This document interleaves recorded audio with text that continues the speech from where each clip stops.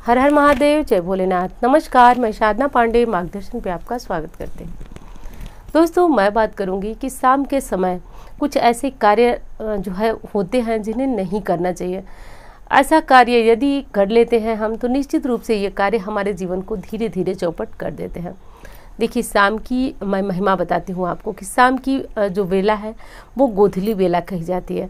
गोधुली बेला इसलिए कही जाती है कि ऐसी मान्यता है कि जब श्री कृष्ण जी अपने गायों को लेकर के आते थे तो गायों के खुर से जो धूल उड़ती थी, उनसे पूरी धूल जो है, वो फैल जाती थी चारों तरफ़। इसीलिए इस समय का, इस काल का नाम जो है, वो गोधुली बेला पड़ गए। अब एक चीज़ और आपको बताती हूँ कि तंत्र विद्या के अनुसार ऐसी मान्यता है कि शाम का समय जो होता है, उस समय दिन और रात का मिलन होता है। तो दिन रात का मिलन, जैसे कि दिन में आप देखते हैं कि दिन में सात्विक जो प्रयोग होते हैं, पूजा पाठ इत्यादि होते हैं, जैसे ही शाम का समय होता है, वैसे नकारात्मक शक्तियाँ जागृत होती हैं। इस चीज़ को नोट कर लीजिए। नकारात्मक शक्तियाँ जागृत होती हैं। बस इसीलिए इस काल को थोड़ा सा ऐसा काल बताया गया है, जिस काल में यदि हम पूजा पाठ करते हैं, कोई भजन करते हैं, कोई मंत्र चलाते हैं तो ये बेहद उत्तम माना जाता है। लेकिन कुछ ऐसे कार्य करते हैं जो नकारात्मक शक्तियों को बढ़ावा देता है। क्योंकि देखिए, कहा जाता है कि तंत्र शास्त्र में बताया गया है कि शाम के समय जो ऐसी शक्तियाँ होती हैं, वो जागृत अवस्था में होती हैं, क्योंकि दिन के समय उनकी शक्ति क्षीण होती है। जैसे ही अंधकार पाती हैं, वैसे ही ये जागृत होना प्रारंभ हो जाती है। इसीलिए तो शास्त्रों में कहा गया है कि आपको शाम को दीपक जलाना, जिसे आम बोलचाल की भाषा में लोग सजवत बोलते हैं। सजवत का अर्थ ये होता है कि शाम को दीपक अपने मुख्य दरवाजे पर रखना। इससे होता क्या है कि जब नकारात्मक शक्तियाँ जागृत होती हैं तो वो ये घूम कर देखती हैं कि किस घर में मैं अपना डेरा बनाऊँ किसमें मैं प्रवेश कर जाऊँ? तो जिस घर के आगे दरवाजे पे दीपक रखा रहता था, वहाँ माना जाता था। अब देखिए, पहले का ये नियम है, शास्त्रों का नियम है। तो पहले तो लाइट्स बल्ब जो है इतने होते नहीं थे। लोग दीपक से ही उजाला करते थे। तो दीपक का जो उजाला था, पहला उजाला, वो मुख्य दरवाजे पे ही होता था। बस इसीलिए होता था कि घर में नकारात्मक शक्तियों का प्रवेश हो न पाए। तो आपको तो सबसे पहला जो ये नियम है, वो ये कर ही देना है कि घर के मुख्य दरवाजे पे एक दीपक रख लेना है। बहुत सारे प्रश्न आते हैं कि दीपक मुख्य दरवाजे पे किस चीज़ का रखना चाहिए। तो सबसे जो उपयुक्त दीपक है, वो तेल का है। सरसों के तेल का जला सकते हैं। प्रायः मना किया जाता है आपको कि किसी भी अन्य पूजा पाठ में सरसों के तेल का दीपक इस्तेमाल न करें। लेकिन मुख्य दरवाजे पर दोस्तों, सरसों के तेल का दीपक अच्छा है, बहुत अच्छा है, शुभ माना जाता है। आप इसे जला सकते हैं, तिल के तेल का भी जला सकते हैं, घी का भी आपकी इच्छा हो तो जला सकते हैं। अब बात कर लेते हैं कि कौन से वो कार्य हैं जिन्हें नहीं करना चाहिए दोस्तों। यदि आप इन कार्यों का नियम बनाते हैं तो समझिए कि निश्चित रूप से कहीं ना कहीं आप परेशानी में फंसने वाले हैं। क्योंकि ये चीज़ें मेरी बताई नहीं है, ये हमारे शास्त्रों की बताई हुई और ये आज की भी नहीं है। ये मैं आज नहीं आपको बता रही। यदि घर में बड़े बुज़ुर्ग होंगे तो ये चीज़ें आपको समझा रहे होंगे, बता रहे होंगे। बस समस्या ये है कि हम आधुनिक हो गए हैं। इन बातों पर हम ध्यान नहीं देते। हमें लगता है जब हमारे पास समय है, हम इन कार्यों को कर लें और कोई भी समस्या नहीं है। सबसे पहली चीज़ दोस्तों कि घर में दरवाजे दरवाजे वगैरह तो आप खोलते होंगे, दीपक इत्यादि जलाते होंगे। घर में यदि किसी भी स्थिति में हैं आप तो एक चीज़ ध्यान रखिए कि कोई आपसे बाहर से दूध मांगने दही मांगने, प्याज मांगने, यदि उस काल, उस अवधि के दौरान आ जाता है जो गोधली वेला होती है, प्रदोष काल होती है, शाम का समय होता है। यानी सूरज डूब रहे होते हैं, उस काल में यदि ये तीन चीज़ें आपसे कोई मांगने आ जाता है तो कदापि इसे मत दीजिएगा। आप इस चीज़ को उनसे बोल दीजिए कि मैं बाद में खाली होकर के आपको पहुँचा देती हूँ, भेज देती हूँ। तो ये काम आप कर सकते हैं, उनको बाद में दे सकते हैं, लेकिन उस काल के दौरान यदि आपने ये चीज़ें दी तो लक्ष्मी जाती हैं, साक्षात लक्ष्मी जाती हैं, इस चीज़ को ध्यान दीजिएगा। तो ये तीन चीज़ें फिर एक बार दोहरा दे रही हूँ। दूध, दही और प्याज, कभी भी मत दीजिएगा। अगली चीज़ है दोस्तों कि शाम के समय हमें जैसे कि खाने, खाना बनाने का काम आप कर सकते हैं, पूजा पाठ करने का काम कर सकते हैं, लेकिन हम यदि शाम को कंघी करना शुरू करें बाल झाड़ना शुरू करें, या फिर जैसे कि कोई श्रृंगार करना शुरू करें तो ये गलती है, एकदम गलती है। कहा जाता है कि नकारात्मक शक्तियों के प्रभाव से कब हमें नुकसान हो जाए, हमें पता भी नहीं चलता है। तो श्रृंगार करने वाला काम तो कदापि मत कीजिएगा। अब एक बात आती है कि बच्चे हमारे पढ़ रहे होते हैं, होमवर्क कर रहे होते हैं, और शाम के समय जैसा कि बच्चों को समय मिलता है। तो कम से कम कोशिश करें कि जब दीपक जल रही है, आरती हो रही है, उस काल में बच्चों को बोल दें कि कोई अन्य काम कर ले और उन्हें होमवर्क करने से, पढ़ने से रोके। उस काल के दौरान इस चीज़ को ध्यान रखिए। वो काल सिर्फ़ और सिर्फ़ एक ही कार्य करने के लिए होता है।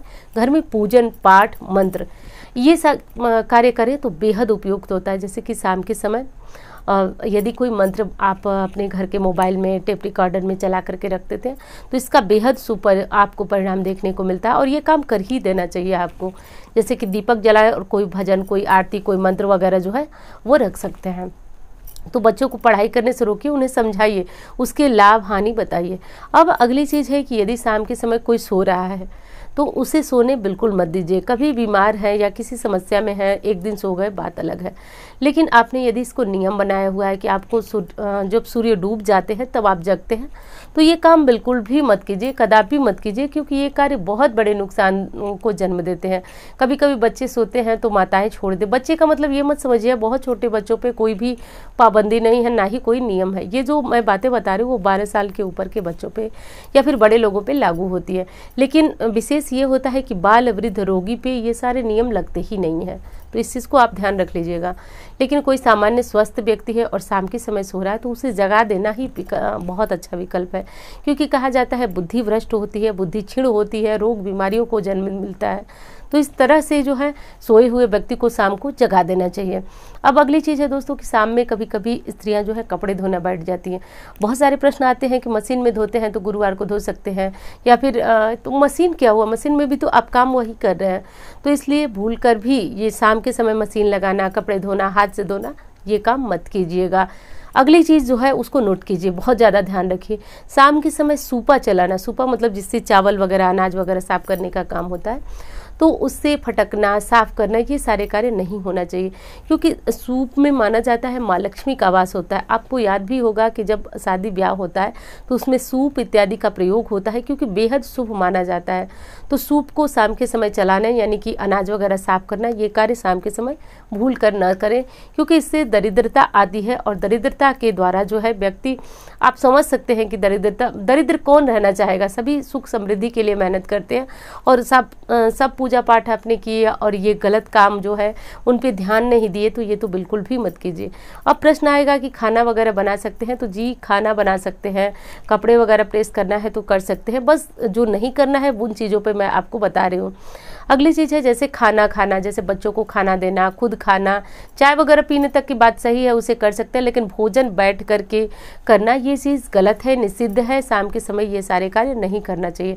ये तो आपको पता ही होगा कि इसके शाम के समय जो है, वो झाड़ू लगाना, पोछा लगाना, कूड़ा बाहर फेंकना, ये सारी चीज़ें एकदम मना है तो इसे तो एक दिन भी मत कीजिएगा, क्योंकि ये करने मात्र से ही अपने आप को ही बहुत बुरी दिखती हैं।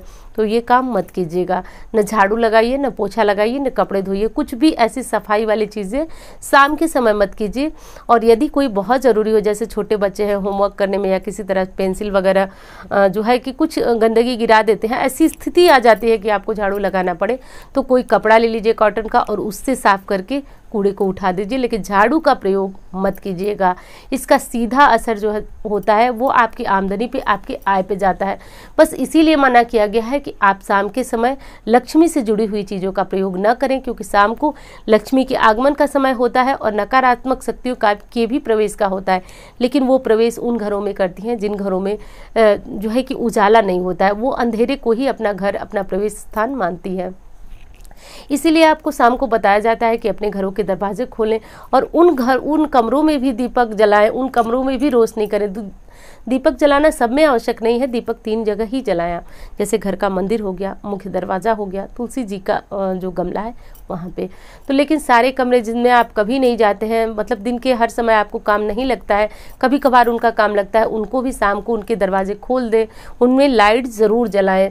तो ये काम ज़रूर रहे, उसमें शाम को उजाला ज़रूर रखें, क्योंकि उजाला रखने से माँ लक्ष्मी का वास तो होता ही होता है, लेकिन घर में बहुत सारे सकारात्मक परिवर्तन होते हैं तो इन चीज़ों को ध्यान रखिए अब एक चीज़ और कहना चाहूँगी आपको कि यदि वीडियो अच्छी लगती है, मेरे द्वारा दी गई जानकारी आपको पसंद आती है तो आप इस चैनल को जो है सब्सक्राइब कर सकते हैं, क्योंकि इस पर शास्त्रों की जानकारी आपको दी जाती है, कोई भी बनावटी चीज़ें नहीं आपको बताई जाती हैं। और दोस्तों, एक चीज़ और करिएगा कि यदि वीडियो और अच्छी लगे तो आप इसको जो है शेयर कर सकते हैं, और लाइक तो ज़रूर कीजिएगा, क्योंकि आपके लाइक मुझे बहुत बड़ी प्रेरणा देते हैं दोस्तों।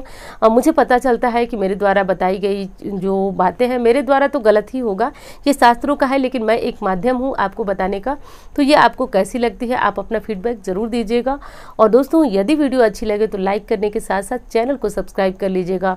और उम्मीद करूँगी कि ये जानकारी, ये जो मैंने आपको बातें बताई, उसको आप पालन करेंगे, क्योंकि आप मार्गदर्शन परिवार का हिस्सा हैं। तो इसको पालन कीजिए, क्योंकि आपको जीवन में आगे बढ़ना है, लाभ लेना है तो लाभान्वित होने के लिए आपको इन नियमों का पालन करना होगा।